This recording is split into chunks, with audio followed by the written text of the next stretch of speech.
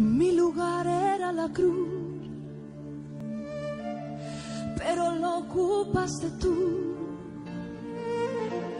Has venido a rescatarme de tinieblas a tu luz. Me sentaste en las alturas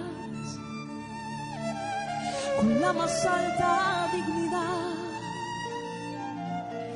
y a cambio te humillaste por la baja humanidad. Y tus pies pisaron lodo por venir a rescatarme.